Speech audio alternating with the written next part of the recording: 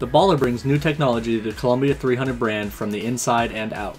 The combination of the uniquely designed big time core and the ERT hybrid cover stock produces unseen hook potential. Big time core is strong, asymmetrical core designed featuring mass concentration on one plane. With typical layouts, the mass creates a stable rotation through the middle part of the lane as the core undergoes precession. It reorientates into an unstable rotation through the back end. During this unstable rotation, the core consumes energy at a faster rate, therefore enhancing the ball's ability to hook down lane. The ERT hybrid cover stock, not only is this a new cover stock that creates more hook potential, it also creates a more consistent reaction on the lanes as well. Today I'm throwing the Columbia 300 baller, and the layout that I used was 5x4 with a 2 inch buffer.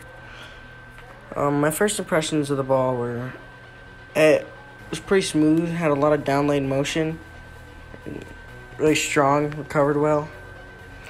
Um, I think that I can use this ball in many different ways and in a lot of different parts of the lane.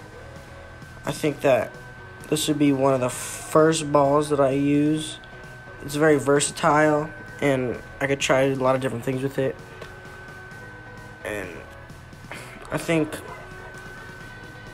when I miss, I um, when I miss when I would miss it left, it definitely had a better chance of recovering because it's a lot stronger ball.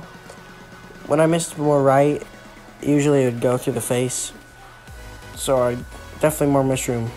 Oh, to the left.